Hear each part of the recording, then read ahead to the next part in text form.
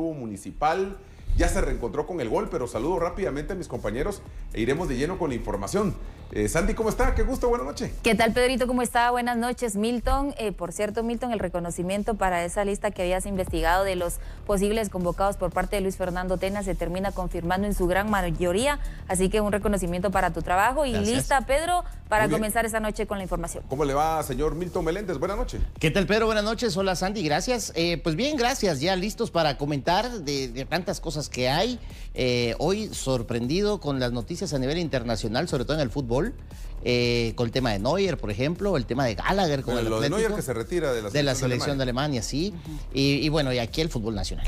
Bueno, vamos a empezar de lleno, si les parece. Vamos con la alineación de Municipal. Sandy, se alineó el equipo Escarlata para el compromiso de hoy. Bueno, así es, con Alejandro Medina en la portería, Albrecht David, Darwin Torres, José Morales, César Calderón, Jonathan Franco, José Rosales, Pedro Altán, Alejandro Galindo, Matías Rotondi que se reencuentra con el gol. Y no digamos pues lo de José Carlos Martínez que definitivamente es el diferente por parte del equipo Escarlata, todos dirigidos por Sebastián Vini. Y por su parte el equipo de los cebolleros que salió de la siguiente manera con Ederson Cabezas, Carlos Castrillo que sí terminó jugando este compromiso, Christopher Cabral, José Salazar, Kevin Aguilar, Jason Carabalí, Eric Sánchez, Alexis Mata, John Méndez, el ex de Municipal, Jesús Úñiga y Rigoberto Hernández, todos dirigidos por el profesor Ronald Lavala Gómez. El arbitraje de este mediodía que estuvo a cargo de Ignacio Fuentes y le acompañó Jorge Lemus, Julio Pérez y Freddy Vázquez. Este compromiso que se vivió en punto de las 12.30 horas en el estadio Manuel Felipe Carrera.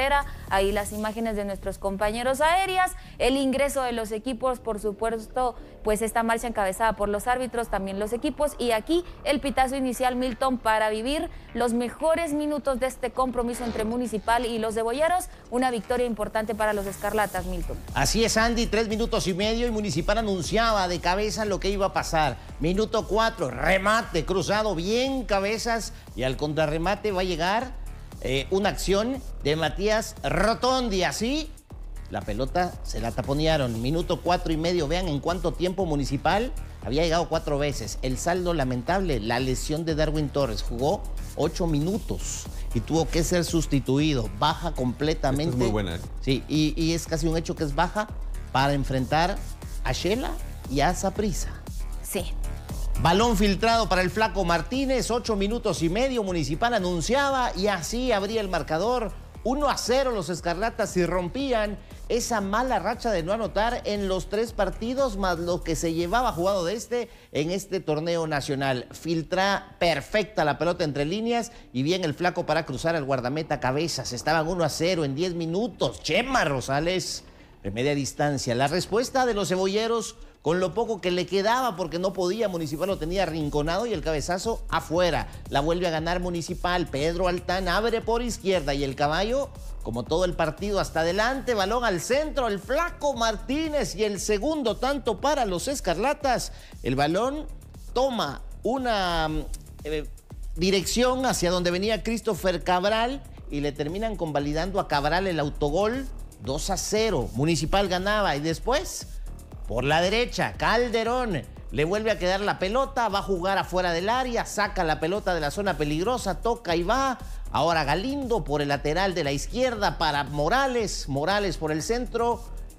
Cabezazo que no llega a medias, la gana Franco Rotondi solito y habilitado. 3 a 0 en 17 minutos contra el colíder. Bueno, eh, eh, ayer justamente hablábamos de, este compromiso. Pedro, teníamos grandes expectativas en torno a los cebolleros, pero bueno, hemos visto pues en este breve resumen que presentan nuestros compañeros em, muchas desatenciones por parte del Deportivo Achuapa en su línea defensiva, sobre todo en ese primer gol, para mí lento en el repliegue y una muy buena pelota rompelíneas en, ese, en esa primera anotación por parte del Flaco. Creo que el Flaco eh, totalmente en sintonía con lo que necesita Municipal y esa muy buena anotación también eh, Pedro por parte de Rotondi, cómo termina ganando esa pelota y, anota esa tercera, eh, ese tercer gol para Municipal. Yo diría que ya después del 3 a 0, un juego dominado por Municipal, eh, sin duda alguna.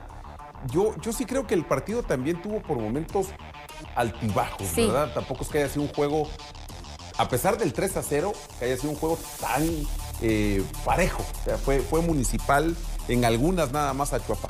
Yo sí quiero mencionar algo y, se lo decía hoy a, Claudio Alvisuris, ahí estábamos hablando con él eh, luego del, compromiso, y estuvo ahí en los comentarios en la transmisión de, Canal 11, y, y, le decía yo, es que observo incluso que Municipal, cuando robaba el balón, metía en su área al Deportivo Achuapa.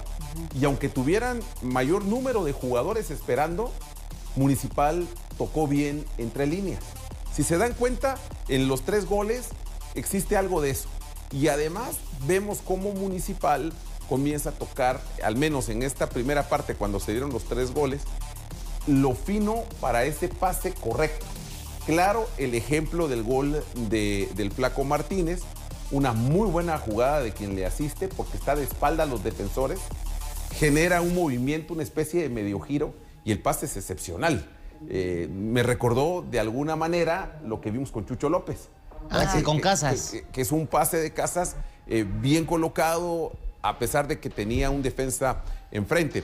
Para mí, Municipal, lo más importante, que se reencontró con el gol. Sí. Eh, que lo hace con un 3 a 0 ante el que venía en ese momento y, y, eso hay que respetarlo como segundo de la tabla general, solo por debajo de tu comunicaciones. Pero también nos viene a demostrar a Chuapa que le falta otros argumentos para esos juegos tan importantes en la capital. Porque te diría, si Achuapa quiere llegar muy lejos, digamos que su planificación esté meterse a la pelea por el título y ver si por ahí se logra meter a semifinales, y, si el objetivo es ese, y, tal vez en algún momento lo hablaron, ¿por qué no pensar que se puede llegar a una final? Sí necesitan ser contundentes los equipos en venir a la capital y superar a los dos, a Municipal y Comunicaciones. Cosa que no veo, al menos en Achuapa, eh, es un tema histórico en que no han podido superar a Municipal y a Comunicaciones de forma eh, categórica en la capital. Dejémoslo categórico. Ganando por la mínima diferencia. No es un resultado que se les dé siempre. Y para ser campeón había algo que siempre se mencionaba en los 80s y creo que hoy se pone eh, también vigente. Si querés ser campeón tenés que ganar en la capital. Ah, bueno. Eso era lo que siempre se mencionaba en los 80, ¿te acordás? Sí. Y eso que eran torneos largos, no torneos cortos. Se decía, si querés ser campeón hay que ganar en la capital. Y en este tiempo no era solo rojos y cremas estaba Aurora. Tipografía. Sí, digamos más atrás tipografía, pero en los 80 estaba Aurora. Y, Aurora era candidato a ser campeón. Mira cuántos títulos tuvo en los 80. Entonces yo sí creo que eso también tiene que replicarse ahora en los equipos que pretendan ser campeones en el torneo Apertura. Si quieren ser monarcas del, campeonato, tienen que ganar de visita en la capital. Y les tengo una pregunta. Municipal gana y gana bien. Lo hace 3 a 0. ¿Pudo ser más abultado el marcador? Dos postes, un travesaño y uno al, al poste izquierdo del arco del Deportivo Achuapa. Eh, pregunta doble, por decirlo así. Eh, ¿Esto refleja ya la mejoría municipal, ganando ya es un municipal distinto por lo que desempeñó en el partido hoy? ¿O fue realmente el peor partido de Achuapa por, de lo que venía haciendo? Es un Achuapa totalmente diferente. Pareciera injusto decir que esto se inclina eh, a, un lado. Me parece que son factores de los, de los dos equipos, ¿verdad? Un municipal que se reencuentra con el gol, es más contundente, es más agresivo, encuentra la manera, buscó espacios, vinieron tres que definieron el encuentro desde el tercer gol.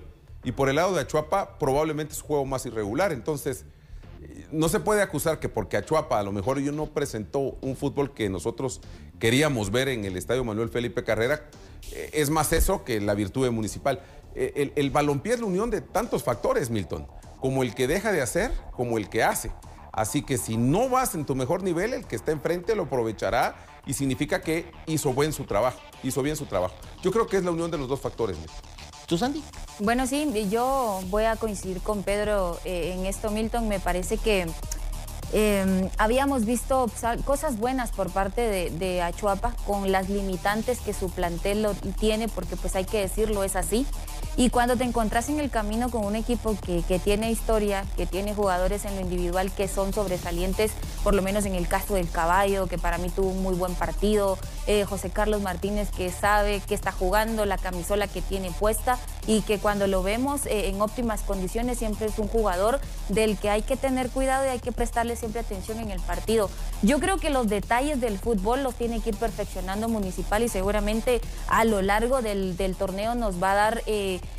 esas eh, razones para mencionar si sí municipal a partir de aquí hay una mejoría importante en los escarlatas. Cuando hay un resultado a favor y sobre todo cuando estamos hablando de un 3 a 0, te quedas con ese resultado y lo importante es la victoria porque a Municipal y urgía. Claro. Entonces yo diría que habría que esperar qué más nos presenta Municipal si continúa en esa senda de irlo ganando con un resultado final contundente, pero que además eh, en el análisis puedas decir, hubo esto, eh, jugadas importantes, silvanaron muy buenas eh, jugadas, hubo transiciones por parte municipal. Yo te diría que en este partido las hubo por momentos, ¿verdad? Como decía Pedro en un inicio de su intervención. Ahora lo de Achuapa, hablábamos también ayer de lo importante que había sido su guardameta. Destacábamos lo de Cabezas y el otro arquero colombiano que me parece Vargas, también el de Malacateco, que son jugadores o guardametas en este caso más específicamente hablando, que habían tenido una eh, importante participación con sus equipos eso importante de un guardameta llega al equipo que te pone enfrente eh, un, buen marcador como municipal y al final terminan batiéndolo. Son pocos, Pedro, también los guardametas que logran sumar una buena cantidad de minutos sin recibir anotaciones. Últimamente yo creo que esto ya no se da tanto. ¿Quiénes fueron los últimos? Quizás por ahí Ricardo Jerez, JJ Paredes, Irazum también con comunicaciones, pero hoy día, si bien es cierto, destacás que los guardametas pasan jornadas sin recibir anotaciones, ya no es tan prolongado, por lo menos en nuestra liga.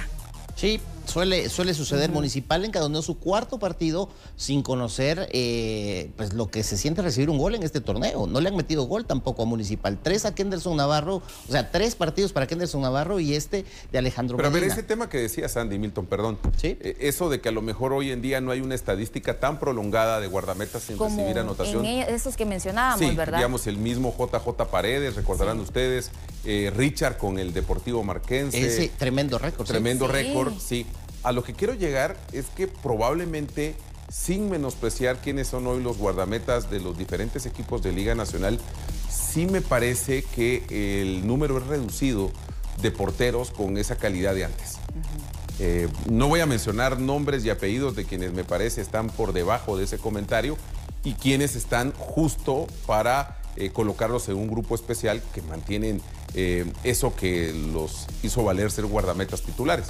Me parece que en general la mayoría eh, intenta en este campeonato dar un paso hacia el frente. El problema es que cuando el récord ese de no recibir goles es compartido también, No, solo, es el guardameta, sino también eh, la posesión de pelota del equipo, que sea una posesión mayor a la del rival, que se defiendan bien. Y, todos esos factores dan como resultado un portero que tiene tantos juegos sin recibir gol. Pero, Pedro, Me parece que sí, estamos por debajo de otros años. Sí, pero la estadística esa viva para mí, tal cual la letra muerta, la termina haciendo valer ese uno específico de los equipos, el guardameta. Porque si la mayoría de veces. Sí, por ahí pues hay un contraataque, pierden la pelota, la línea defensiva falla y es cuando al guardameta le toca asumir, ¿verdad? Sabe que yo en ese sentido, en los récords eh, Sandy Milton y amigos, esos que de alguna manera mantuvo JJ, el mismo eh, eh, David El Gato Guerra tuvo por ahí, eh, también Jaime Penedo, pero yo sí considero, a ver, si tomamos en cuenta a JJ y a Richard, ¿verdad? Ricardo Jerez en, en, Marquense, yo creo que el de JJ pasaba más por eso mismo que usted decía, ¿verdad? Ser ese último hombre y demás. En el caso de Marquense, creo que había un par de centrales, sin restarle mérito a los centrales que tenía JJ en ese momento, porque mira, terminaron siendo seis veces campeones de forma consecutiva. Pero te diría que en Marquense habían dos centrales, porque recuerdo muy bien eso, incluso hasta puso un reto con, con el mismo Richard eh, al aire. Y, y, sí considero que había una labor esa de cubrirle la espalda al guardameta más en Marquense. Vamos, con JJ no es que eso se descuidara, no estoy diciendo eso. Simplemente JJ era el último obstáculo y que normalmente solucionaba bien las cosas. En el caso de Richard, por ser un, equipo más limitado en ese recurso humano, sí dependía mucho de sus dos centrales para evitar los inconvenientes que tenían sus laterales, que era el problema de Marquense en aquella época. Pero bueno. Sí. Como el otro tema que Lo que sí es cierto es que no tenemos tantos eh, porteros con, ceros, en varias jornadas. De hecho, ¿te recordás? Eh, a ver, cada cuánto teníamos, por decir, un portero candidato para selección nacional que fuera nacional. O sea, a eso me refiero, un, arquero guatemalteco que juega en Liga, Nacional. Sí. Pues hoy hay que ver eh, eso como a, futuro, a medio plazo. Que ojalá vengan el mismo Kenderson. Es que Kenderson, a ver, todos hablan bien de Kenderson en su trabajo. Yo no niego que en la semana se esfuerce. Lo que sí tiene que hacer Kenderson Navarro, ya, para este torneo o para el siguiente, pero urge es regularidad. O sea, que se adueñe del puesto y que no lo regrese. Consolidarse. Por mucho tiempo. Oíme, un guardameta que cede su puesto significa que es irregular, no hay de otra. Es que no hay de otra, sí, que le vamos a dar tiempo, que viene lesionado, que vamos a darle más tiempo. Olvídenlo. Yo recuerdo porteros que llegaban a su puesto y nadie los movía. Leo Díaz. Ahora. JJ Paredes. Que el gato Guerra se lesiona, creo que entra J. Y no le devuelve y, y el preguntarle al gato qué pasó después. Yo sí creo que eso es lo que necesita un Kenderson Navarro, por citar un Pero, ejemplo. pero para que eso se dé, Depende de según él. yo, ¿verdad? Eh, en mi punto de vista, Pedro, eh, creo que Kenderson necesita también hacer un recorrido. Eh, ¿De qué estás hablando, Sandy? ¿Qué hizo Kevin Moscoso cuando Kevin Moscoso estaba con comunicaciones? No terminaba de ser ese titular porque siempre había alguien que quizás tenía u- u- un, tipo de matiz distinto y le terminaba ganando la regularidad. Kevin se va para Siquinalá, de Siquinalá se va para Cobán, en Cobán tiene una muy buena participación, regresa a Comunicaciones, en Comunicaciones suceden otro tipo de situaciones, pero termina en un equipo como Misco adueñado de una portería y no adueñado por porque no hay alguien más, sino porque él lo está haciendo muy bien. Sí, o sea, él llegó para quitar a entonces cualquiera esa regularidad se la da la competencia, pero la competencia no la va a vivir desde la banca. Entonces, para mí, yo creo que Pero los Kenderson fue a guardametas otro como equipo, Sandy, Kenderson Pero necesita más, necesita más Pedro, porque con lo que tiene en este momento no le alcanza para ser el guardameta de municipal. Ahora, Por eso, pero, por eso digo, pero por eso digo, pero está convocado a selección. Está convocado a Sí. selección. Está convocado a selección. Pero hemos discutido la convocatoria de Kenderson. Pero ahora sí está ocasiones. jugando. Por lo menos ahora sí está Sí, jugando. sí, estoy de acuerdo, pero llega a selección. Y uno se pregunta, a ver, si a veces es tan irregular que no logra ser titular, lo llama Tena. De fútbol sabe Tena. Bueno, sí, y, y- por y- supuesto. y- y lo lleva. Entonces, algo tiene de especial Kenderson. Para mí es que él ya no devuelva la titularidad. Exacto. Y para eso no depende de otras personas más que de él cuando le dé en el momento. Y Sí. no digo que en este caso Medina eh, no sea también para optar a ser titular. Medina tuvo un desenlace final en el torneo anterior bueno. Sí. Recordarán, Sí. fue clave para la conquista del título. Tampoco podemos menospreciar al guardameta en municipal eh, que en su momento levantó la copa como regular portero escarlata. Yo sí creo que cualquiera de los dos, no importando eh, Medina o Kenderson, pero que ya no devuelvan esa titularidad. Es la única manera en que municipal puede ir de forma más tranquila desde su línea defensiva. Pero tenemos